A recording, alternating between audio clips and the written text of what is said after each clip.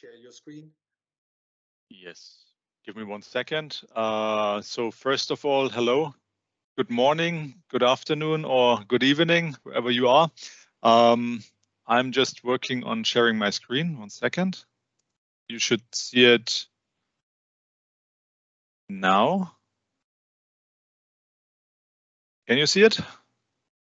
Someone confirm? Thumbs up, Please. Yes, it's working. Yes. Okay. Thanks a lot. So, um, yeah.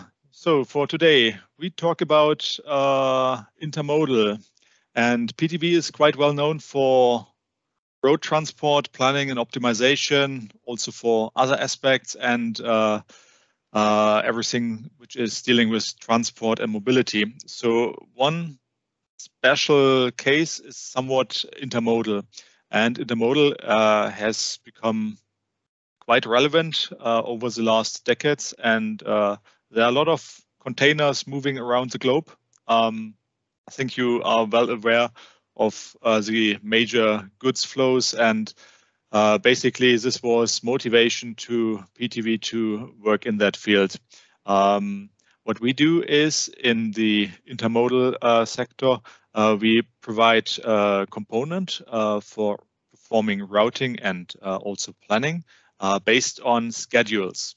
So what does that mean? Um, usually when you have uh, a vessel uh, like from uh, Shanghai to uh, Dubai and then further onwards to, let's say, Rotterdam, uh, there's a certain schedule behind.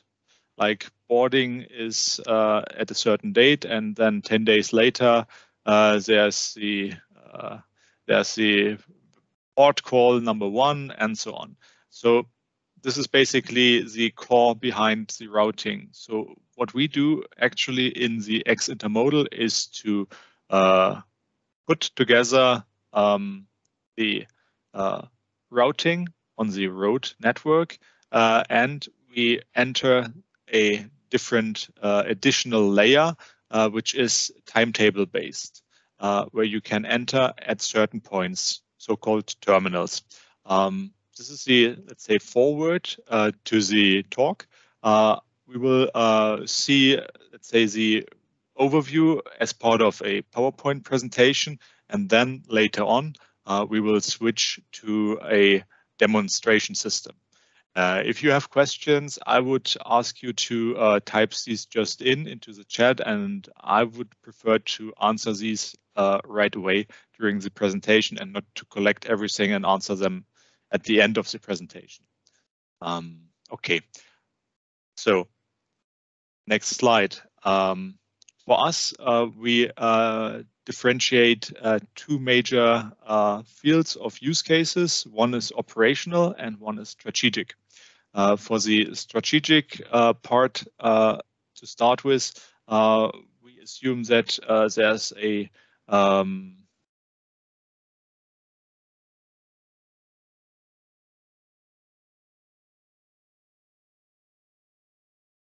Hello. Um, I had some connection issues. I hope I'm back. Bernd, is it working again? Yes, I can hear and see you, yes. Okay, great, thanks.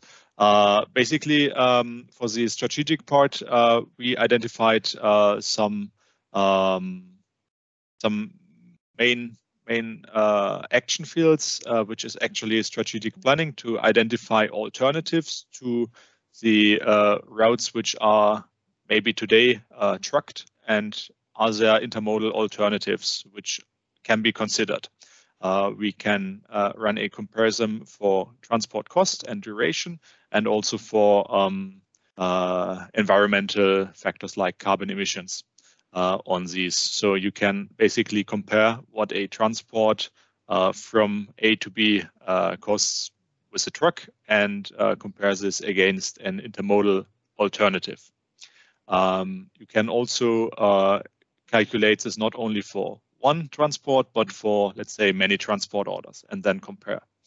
Um, further on, uh, in the strategic case, uh, you can run also some, let's say, network simulation and evaluation. So what does that mean in case uh, you change a existing provider, like an intermodal provider in Europe is quite well known Kombiverkehr. uh, which is a uh, rail service uh, operator uh, for intermodal uh, transports of container units. And what happens if you switch that operator off? There are other operators in the market in Europe which also provide services, maybe at the same corridor or at different corridors, and what are the alternatives uh, which arise when you switch off one operator. Or you can also think of uh, switching off one modal network. This is uh, possible as well. So there's not only a rail network in Europe, uh, but there's maybe also a uh, short sea network or a inland navigation barge network. So there are different uh, possibilities to play with that. At the end of the day, uh, you plan uh, and you compare uh, before performing the transport. So this gives you quite a good idea of what is possible and uh, what a situation uh, could look like in the future if you would switch to intermodal. Um, the other part is, let's say, more the operational driven part. this is identifying three major cases. It's intermodal transport chain composition, intermodal planning, and uh, support in case of disruptions. So for the chain transport uh, building, um, you can just uh, send the, uh, um, let's say, the, the transport uh, instruction from A to B to the xIntermodal and receive an, a set of uh, transport alternatives so road transport plus a number of intermodal alternatives. In the field of intermodal planning system, um, we go one step further. We look at a transport order level and we determine per transport order level uh, different options for this transport order to be uh, performed. And uh, we then uh, do this not only for one transport order, but for many. And uh, if you have, for instance, 1000 transport orders, uh, you can then uh, use this optimization approach by the xIntermodal and determine the overall most cost efficient uh, solution uh, for your whole system. So basically, it helps you to determine uh, the alternative in the most cost effective way. Finally, uh, support in case of disruptions is a bit a special case, but it is quite uh, common that something goes wrong. Uh, for instance, if you have a time critical transport and this is maybe stuck somewhere, let's say during the transport um, and um, you want to find an appropriate alternative, either switch to a different timetable based service like pick a more expensive but faster uh, train or uh, switch to, let's say, trucking in case this is needed to cover the transport order constraints. So this is the use cases we are thinking of uh, supplying with the uh, xIntermodal. Um, to do so, um, we need some data. And um, data usually for the uh, xRoute case in the road sector uh, is basically a digital map and um, same goes with the xIntermodal. We use a digital map, but also uh, we do use a an additional layer. What you see here in the top right corner is a uh, intermodal network for trains in Europe, but also going to Asia. This is one example just to visualize something. Um, basically, we distinguish between um, physical infrastructure and service uh, infrastructure. So services are, let's say, not physical, but they are uh, timetables. They can change over time. Uh, infrastructure as such can also maybe change, but it is not uh, too likely that this will change uh, daily right? So a terminal exists, it will be built. It takes some some time to construct the terminal and to build some, let's say, uh, rail uh, infrastructures uh, and to connect these terminals. So they don't change too much. What we have is we have a uh, European uh, network which is quite well covered uh, for rail and intermodal transport as such. So we don't only have rail networks, but we also have, let's say, uh, inland navigation and also short sea networks. We go also uh, one step uh, beyond uh, the European scope. Uh, we have also uh, at a global level data, especially for deep sea shipping and air transport. Um, talking about intermodal data, I was already introducing some elements of these. So basically, you need a terminal set, you need physical uh, network uh, um, digital twin. Uh, you need to have some handling um, processes modeled, some transshipment possibilities between terminals. For instance, at the port level, there are not only one terminal, but many. Um, you need then very important intermodal schedules uh, so the timetables, which uh, describe going from A to B to C to D, and uh, the service days and uh, the um, and the attributes around that.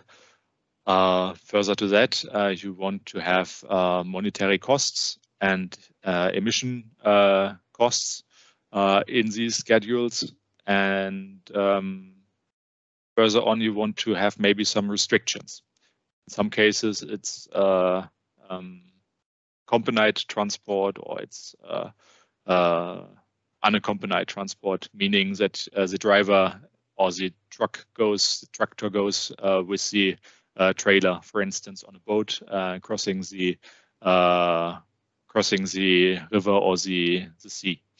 So um, moving onwards. Um, I described that uh, we have a two-step approach. Uh, basically, uh, step one is the calculation of the intermodal route and the alternatives, and step two is the uh, planning approach, uh, where we solve a multi-commodity network flow problem.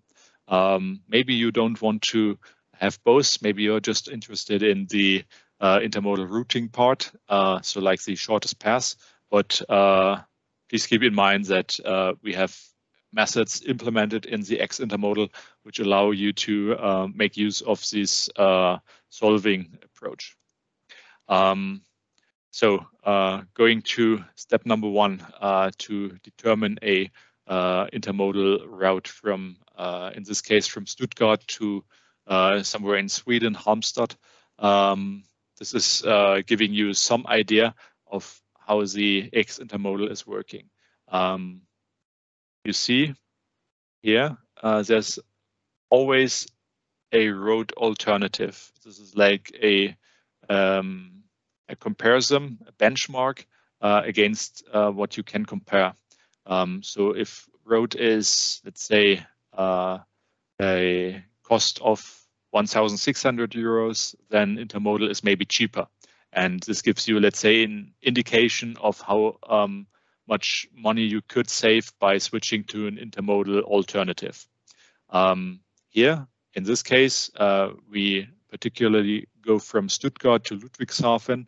Uh, so we truck to the terminal, and from the terminal Ludwigshafen, uh, we go to the uh, uh, terminal in Lübeck, and from Lübeck uh, we do some some uh, sea mode and go to Malmö.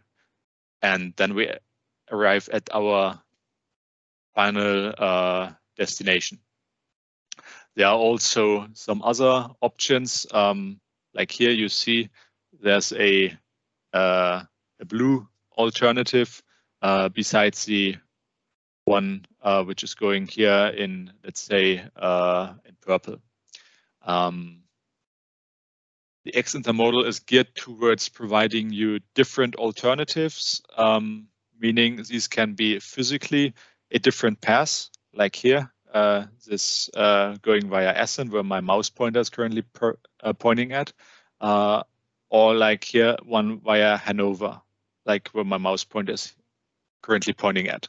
Um, this is uh, to give the, uh, let's say, the planner or the operator, decision maker somehow support in uh, understanding there's a different option.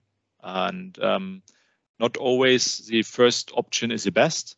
Uh, in some cases, it is, uh, but in some cases, uh, it is uh, quite interesting for an intermodal planner to understand that there's a different option how he could transport. Okay. Um, I will uh, go through some other quick example. Uh, here you see uh, from somewhere south uh, in Bavaria in Germany uh, going to Spain. Um, quite different uh, routing results via one via Bordeaux and one via let's say Barcelona and Lyon. And this is giving you, I think, a quite visual idea of how this is working. Um, as said, uh, main input to this to work is an intermodal timetable uh, basis, uh, which either comes from your existing system or uh, which is manually uh, provided via a, a visual uh, front end. I will talk about this in a minute. Um, you can also look into different options here, especially these European examples are quite visual. Um, I was uh, talking about uh, the functionality of planning and also optimization, and this optimization uh, is presented in this slide here. Um, here are some sample uh, transport orders. A transport order is defined by a pickup location and a delivery location uh, pickup and a latest pickup time and a earliest and last or latest uh, delivery time. So you have certain constraints with that transport order. And uh, what we provide here is functionality to calculate uh, within the call it thresholds of the transport order different transport alternatives. And um, in this case, uh, for this transport order called uh, Messe or Exhibition 6. Uh, it's a demo uh, transport order. Uh, we can calculate 19 transport alternatives, which are within the thresholds of the um, of the uh, transport order. This is going from uh, somewhere in Rotterdam to I think somewhere in in Milan, so northern Italy. And um, so which of the 19 transport alternatives to decide for? Um, this gives you, let's say, the idea and the motivation. It's quite difficult for a planner then to walk through or to click through all of these 19 alternatives and to make a decision. Maybe it is, maybe it is not, uh, especially if you have, let's say, a high quantity of transport orders you need to take care of. Uh, things become quite difficult also for a planner. And because somewhere the capacity of the let's say best solutions because most cheap or fastest options are in some cases limited. So a train is at some point in time full fully booked. And uh, how to book this then later on. Uh, therefore uh, we have got a uh, an approach uh, which is then analyzing all these uh, transport alternatives uh, in means of costs and in means of uh, predefined capacity uh, for the lines. And uh, we do then an allocation. So this service here from Cologne to Busto, so like from, from Germany to uh, Italy, um, this service is now fully booked with uh, three of three capacities. There are other trains like from Duisburg, from a different terminal to Busto to the same destination terminal, there's only one capacity out of 20.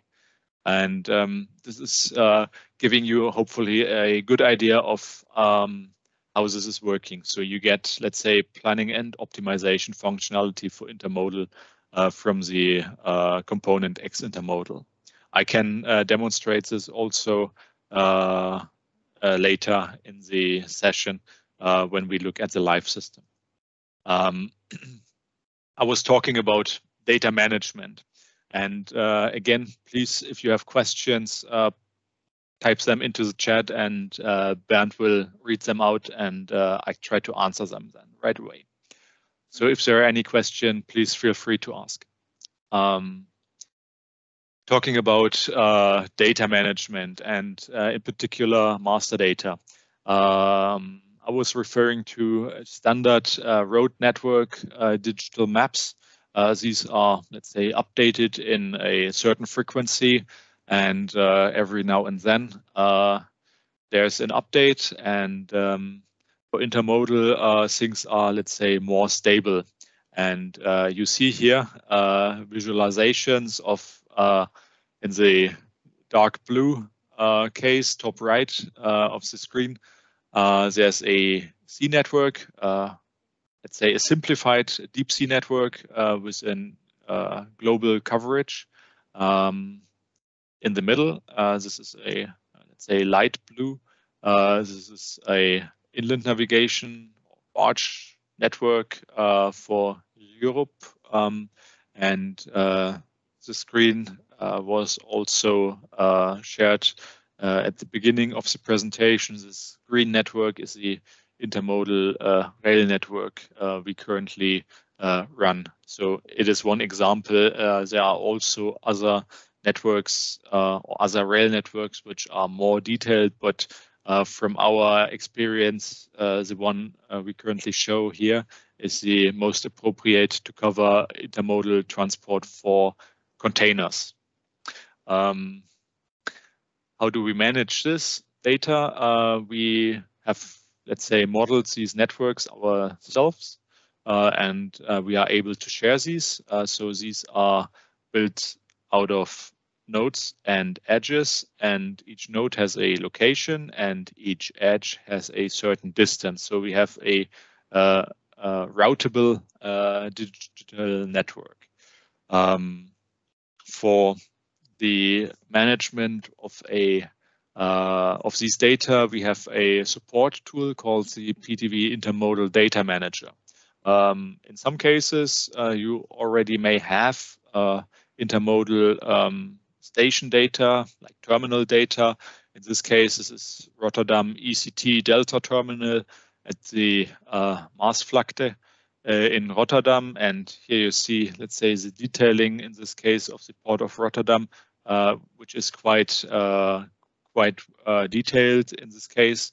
and the Rotterdam terminal ECT Delta is um, is connected to um, to deep sea network, to barge network, to a deep sea network, and also to a rail network.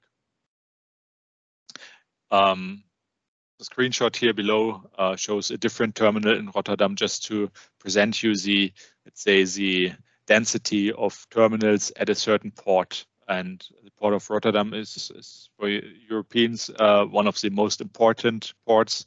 There are other ports uh, where you have also many terminals in the port uh, area.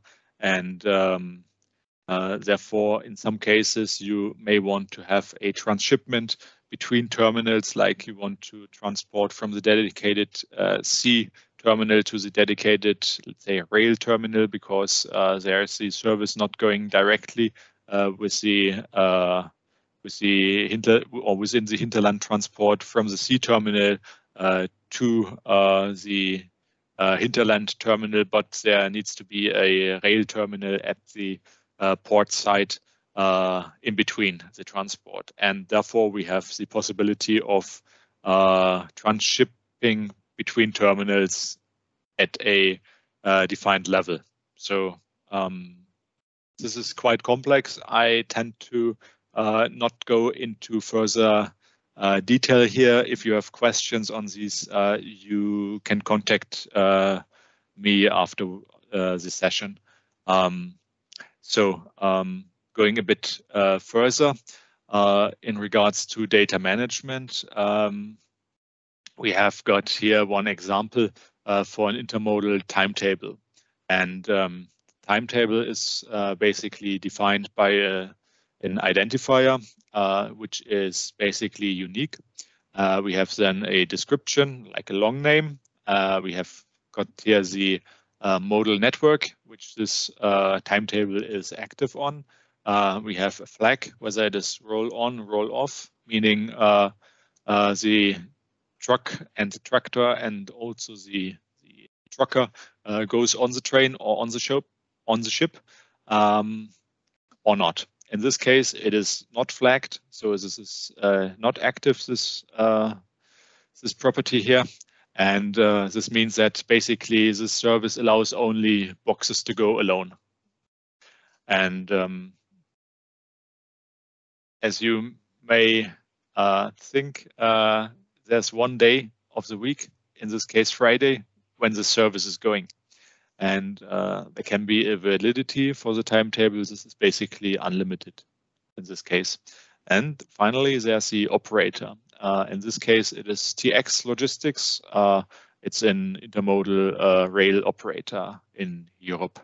It could be for sea, it could be Maersk, or it could be some other operator. Uh, there are many examples you can think of maybe. Um, basically, this is helpful to uh, uh, perform inside the routing case uh, selection of operators which you want to allow and which you don't want to, to see. I can demonstrate this in a bit. Um, going a bit onwards, um, in this case, we go from uh, sequence one to sequence two, like from the terminal in Herne here, and then we go way south to Italy, uh, to uh, Verona, and uh, we have a certain closing time, and uh, we have a departure time. In many cases, the departure time uh, is not important, uh, whereas the closing time is, because if you are at the gate but uh, did not pass the gate because you are stuck in the congestion or whatever happens, uh, you will miss the cutting time and then you have to uh, replan uh, your trip. Um, then you basically missed your service and you need to go at a different uh, so, or with a different service at a different day, which is maybe uh, causing some issues then for you or for your for your user of the service. Um, the arrival uh, terminal is here, Verona, and uh, the service arrives at five o'clock. And there's the assumption that this is also then ready for pickup at the terminal at five o'clock. It could be also the day after. It could be also uh, the same day, uh, day three, uh, but not at five o'clock, but at uh, four o'clock in the afternoon. Could be. Um, what is interesting here is that you see a distance. This is derived from the digital network routing path. Uh, so this is uh, the intermodal distance uh, using the rail network from from terminal A to terminal B. Um, we could also insert here additional stops. Uh, we could go further onwards to, let's say, Rome uh, and uh, allow also in Verona to load in Verona and not only to unload in Verona, going then to um, to Rome, for instance. Um, here, this is also something I want to point your attention at is cost. Um, these are monetary costs. Uh, we did just for this example, uh, one kilometer costs one uh, euro. It could be 50 cent or whatever. Uh, you can put in this, let's say, formula and play with that. But just for the sake of simplicity, we decided for this example to go with one euro. Um, okay. Um, if you put in a different stop, uh, then there would be costs from one to stop number two, and there could be also costs from one to stop number three, and also costs from stop two to stop three. And these do not have to be always, let's say, linear, like one kilometer is one euro, but you can uh, put like something, um, a flat rate, like from uh, Germany to Italy, it's always 500, uh, and uh, from Italy to uh, to uh, Greece, it's 800, and then from Germany to Greece, it's 1,000 you can play with this. It's depending on your existing contracts. If you have uh, contracts in place, uh, if not, then you can uh, take this, uh, let's say, uh, um, cost calculation as uh, input parameter to your assumption. Okay, um, let's move on a bit more. Um, what is the xIntermodal technically looking like and where can be used? Basically, the intermodal uh, component is based on X Server 1 uh, technology. It's the currently the latest version X, the 1.34.04. Uh, um, it's yeah the most or the la latest version uh, we currently deployed. Uh, it comes with the uh, um, look and feel of the X-Server 1 uh, component. Um, so uh, you can have here a, let's say, raw request runner. Uh, you can play with the management console. we can have a look at it later. Where can it be used? basically, it's one server similar to an xRoute or Xtour or Xmap and these can be used in a TMS environment or in an ERP environment. Uh, so this is, let's say, an integration component. I would uh, make one quick uh, stop here and ask to the round, are there any questions so far? Uh, Florian, no questions in the chat so far, but I, am not getting tired to, to motivate you. If you have questions, use the chat give us some feedback, use the, the audio channel. Um, so far, I'm just summing up some of your statements in the chat, but no questions have been mentioned so far. Just go on. Okay, great. Uh, so please feel free, uh, especially now in the uh, following parts, uh, where we um, uh, will look a bit into the demo system. I will just uh, change my screen to the um, demo system here. I want to start first of all with the with the data manager. Uh, as said, the data manager gives you an uh, possibility to uh, manage uh, networks and also schedules. Um, and maybe we start from scratch. Um, so we start with the terminals. there's a certain terminal set here included currently. Let's say I want to see 200 terminals. I can uh, just scroll down a little bit and you see that there's uh, quite some coverage. Uh, globally, we ha have currently around uh, 1,800 uh, terminals uh, available. Um, it depends a bit into in which area you want to look at.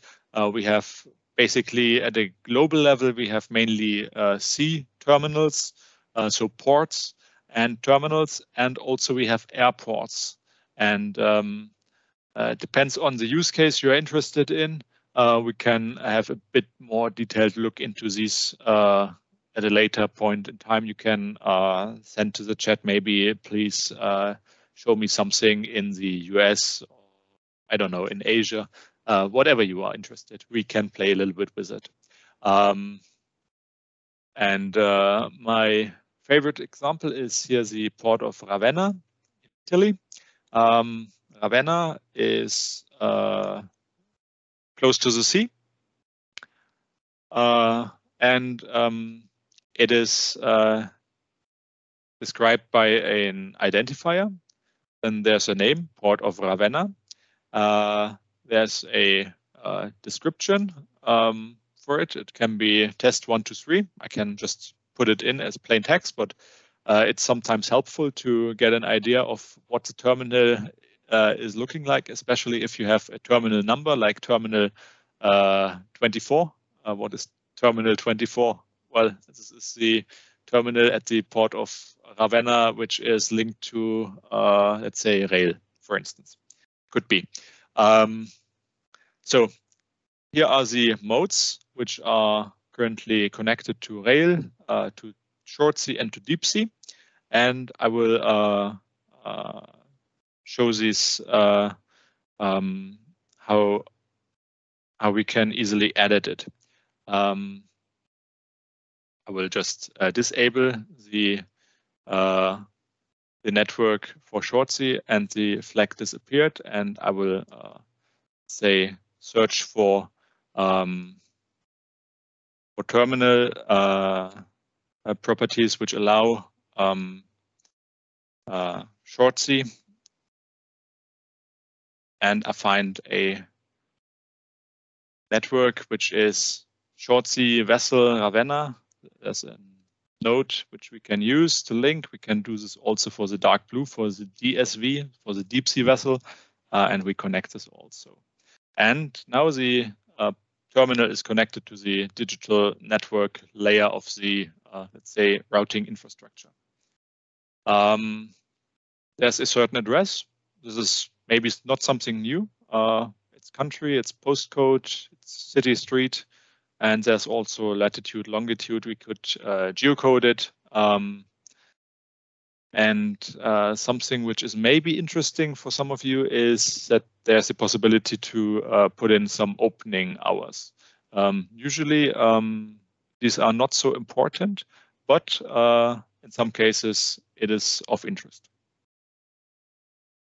Okay, so this was the example for the terminal. Um, let's go next to the uh, to the network level and uh, I will open up my um, network uh, for Rail uh, in this case. Um, and uh, you see here, these are uh, built upon nodes and edges, and we can also visualize these.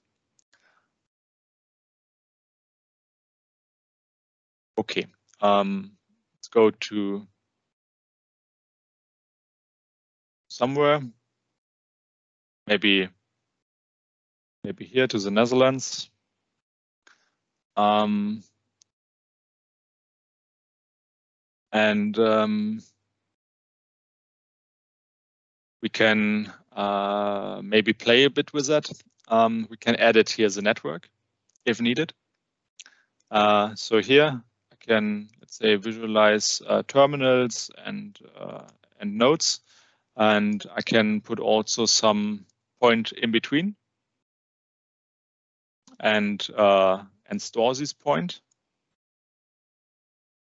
I will delete it, of course, later on.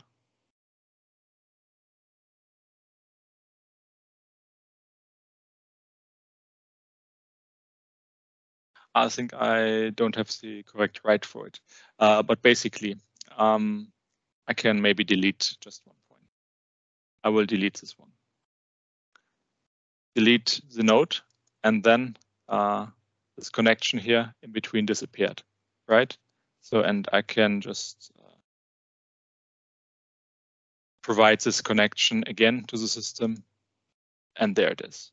And this is basically the way how you uh, model your network at an, let's say, easy level. In some cases, it is quite detailed, as said. In some cases, it is, let's say, uh, a wider range. I will um, show you I will show you here one example for uh, for the Silk Road. Oh, I need to zoom in. Sorry. Here, this is very large distance. It is, uh, let's say, aggregated uh, in between, as you see, between the intermediate uh, points. Um, but it is uh, giving you at one point in time some uh, some good indication about the distance uh, you need to travel, and at the other side uh, you can uh, have a graphical polyline uh, as part of the routing result. Okay. Um, one point I wanted to uh, show you is also um, the schedules. And uh, I want to pick two examples here. One is, let's say, in this case, uh, the one I was showing in the presentation. Uh, this is uh, the uh, timetable in our data manager for it. Um, but I want to show you also something different. I want to um, switch quickly to a different mode and uh, show you something with a larger scale. So this is a uh, an example I typed in this morning uh, to prepare something for you. And uh, this is going now from uh, from Shanghai to, uh, in this case, uh, Hamburg. Um, and we have not only one stop, but we have four stops.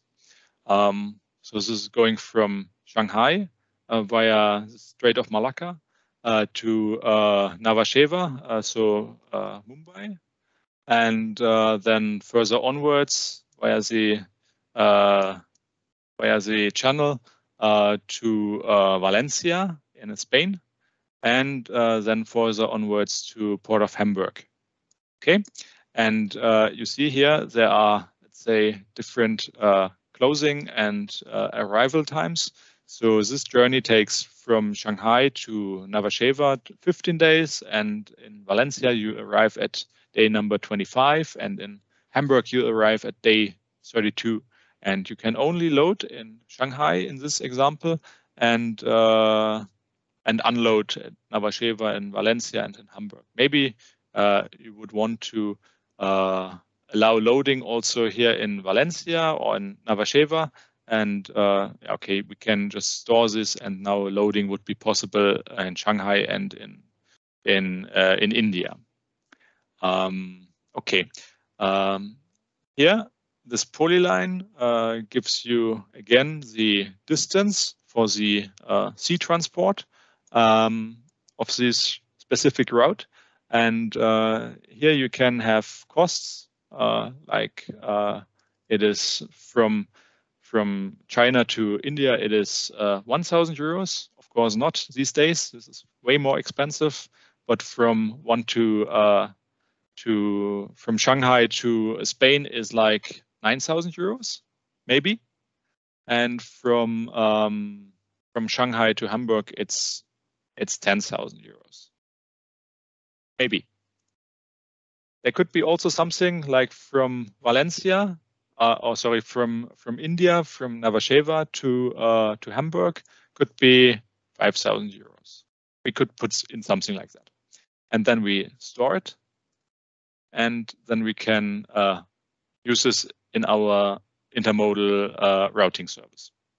Okay, I was talking a lot about this data. Um, I will leave out transshipment centers, how to model these. This is a bit more complex. Um, I think I want to put your main attention uh, towards uh, routing. Um, and um, before going, oh, timed out. Before going to there, um, I will um, I will switch uh, the uh, screen to the demo system where we can uh, have some some quick routes. Uh, let's say we want maybe to go from um, from Düsseldorf.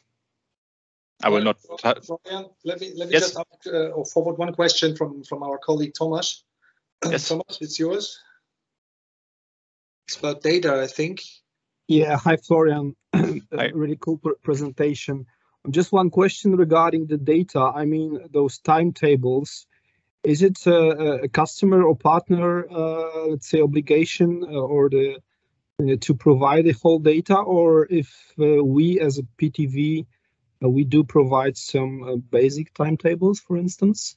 Yes, last case. We can provide some basic timetables. Uh, the customer could or the user could provide own timetables, um, but please be aware that uh, this is, uh, let's say, taking some quality then, right? So if it is inside a TMS system, uh, already in place, then we can uh, use this data, we can import it, we can integrate it into the network, which takes some, let's say, limited effort to do so.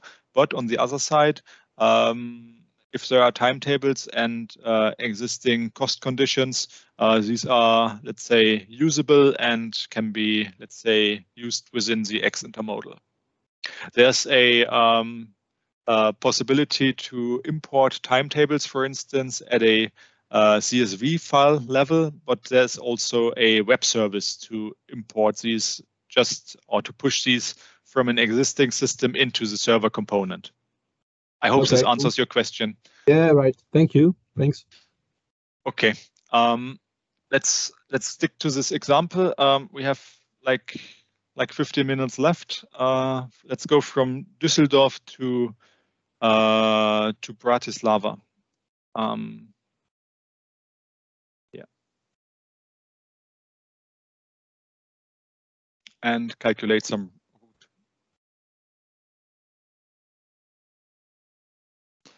And you see here, you get some different alternatives. Yeah, either go from uh, from Düsseldorf or to truck from Düsseldorf to Neuss.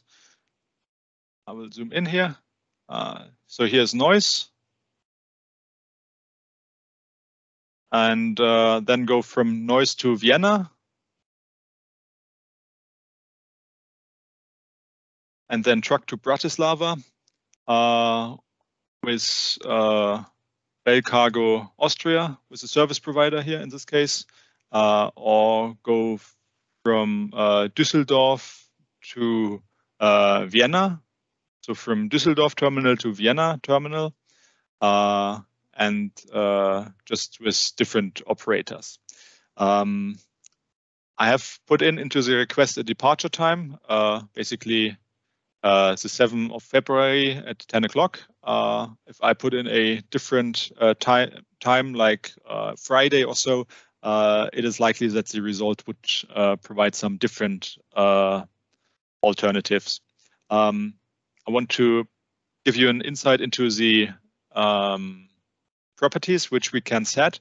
Uh, we can uh, say either it is uh, accompanied or unaccompanied, so like uh, ferry or rollende Landstraße, when the trucker is going uh, with the with the truck uh, onto the service, or in this case it's unaccompanied, so the box is going alone. we can have a certain cost limit for what we are uh, willing to uh, pay. Uh, there's a time cost ratio, like for which cases results shall be presented. So this is, let's say, currently switched to 40% time and 60% cost. Um, there's a distance uh, we allow to pre or end haul uh, um, to the terminal. And there are different modes which we can uh, allow or disallow, and we can just say uh, this K line we don't allow. Uh, I will not play with it right now. no, I want to show some different different option and I want to uh, delete here this and I want to go from Prague to London. Um, this is a quite nice example. I need to zoom out and to, to zoom in. Let's say go from here because this is uh, crossing the channel and somewhere in London. And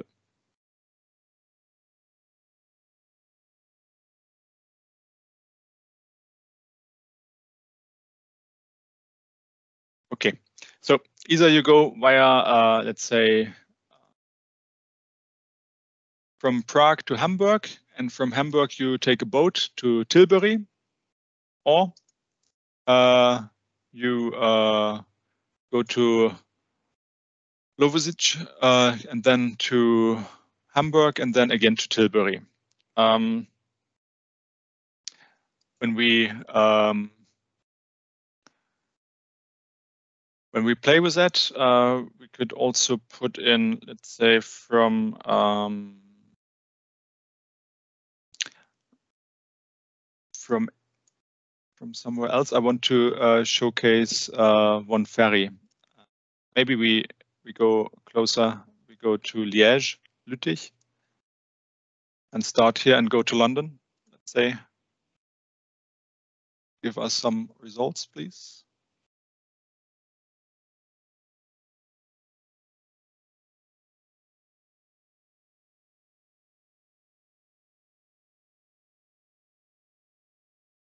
Okay, I need to switch on accompanied, I think. I make a different example. I was I was playing with the data in the morning. Maybe I've just deleted something. I will go from uh, from Trieste or from Salerno to Piraeus. So Salerno is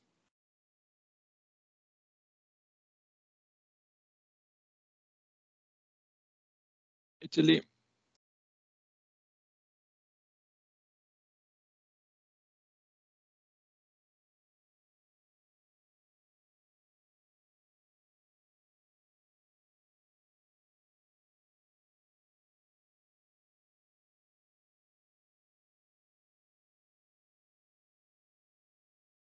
Okay, and go to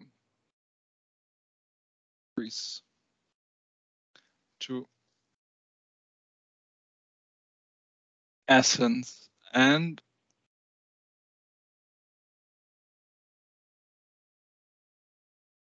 this is basically what you get without uh, the intermodal, right?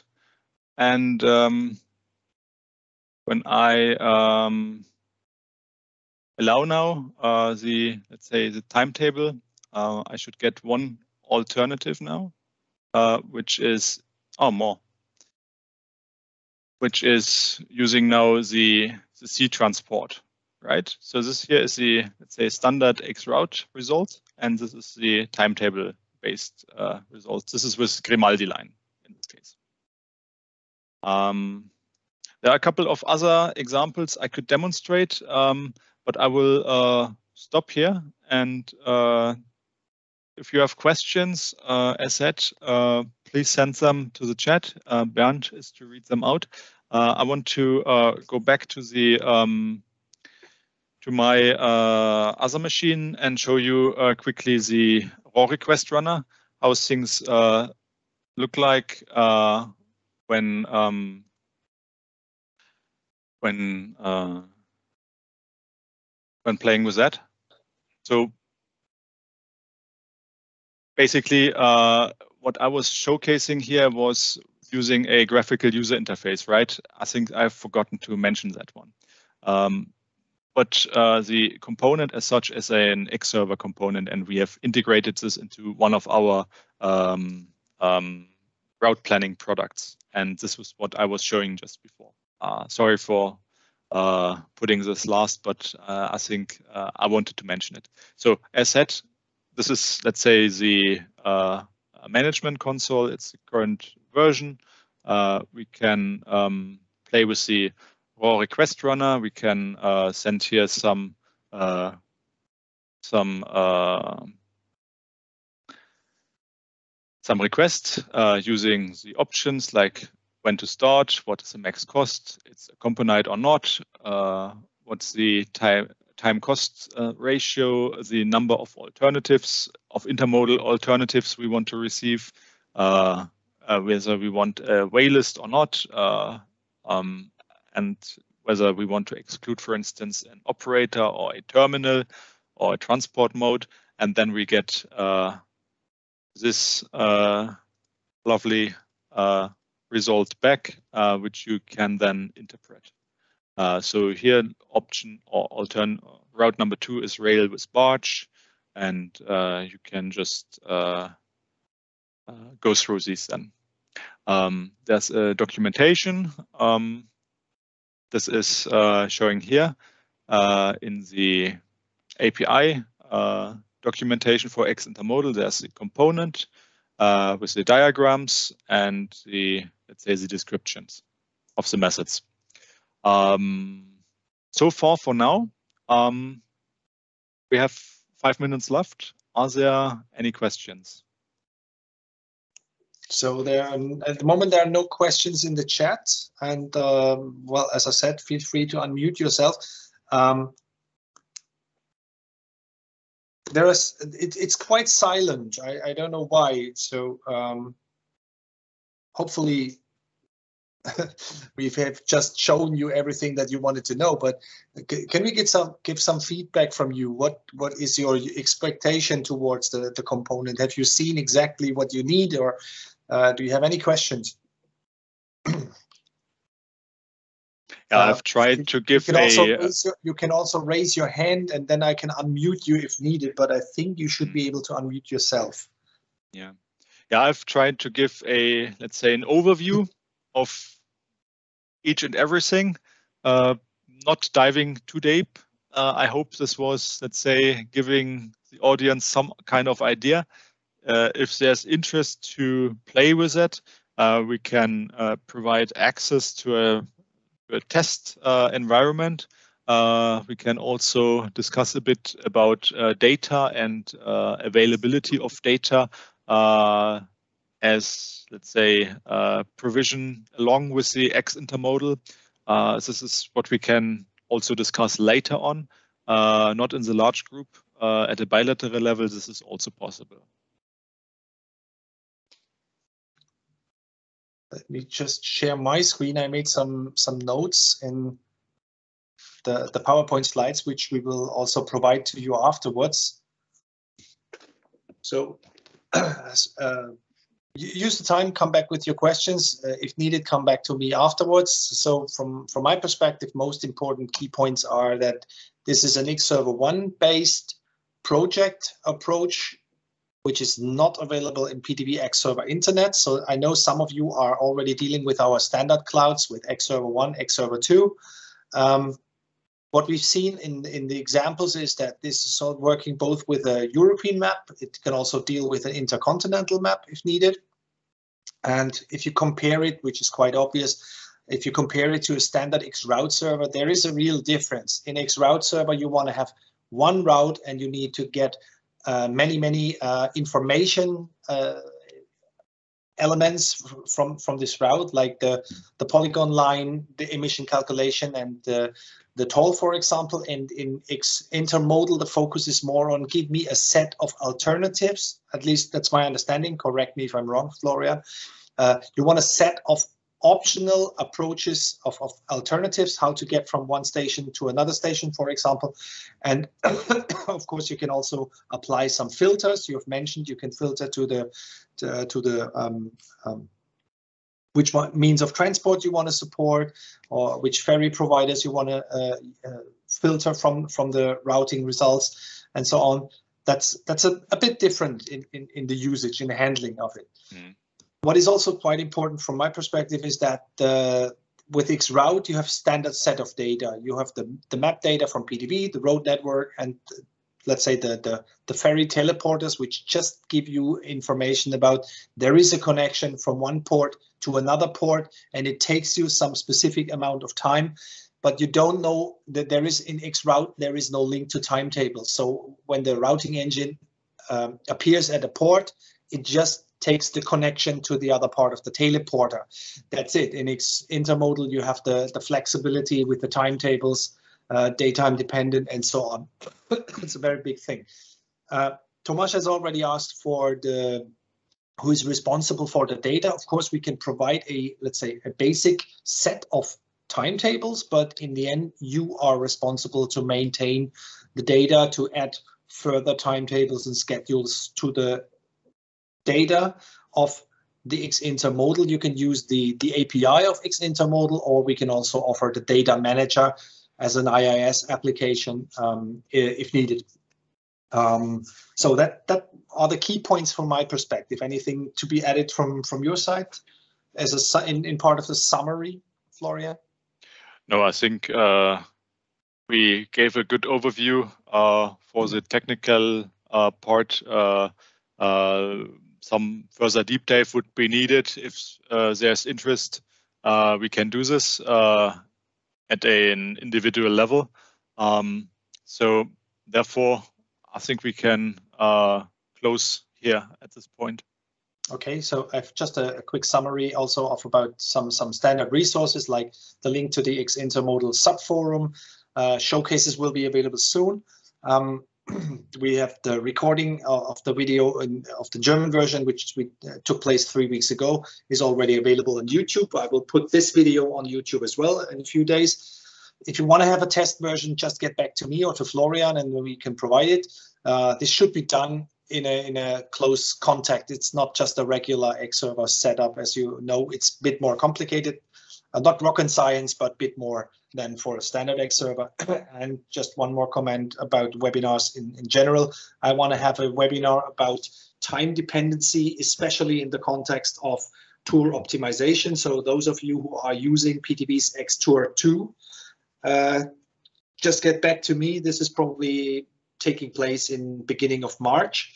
And I will just show you how you can create a multi-travel distance matrix and how you can consider the time of the, well, uh, the availability times of the, of the, the resources in, in this context, considering the multi-travel DEMA, which is a, a, a feature we invented in Xserver 2. Well, that's it from my side, Florian. Last uh, statements from your side or from the uh, last chance for the audience. Otherwise, I will just close the recording and say thank you very much for joining. Feel free to come back to us later if you have any questions or feedback about today's session. And also very big thanks to Florian for the presentation. It's a very mighty interface and I'm quite interested in what we will see in the future in this interface. okay, so much. Florian? Yeah, thanks for having me. Have all a good day. Okay, bye-bye. Bye-bye.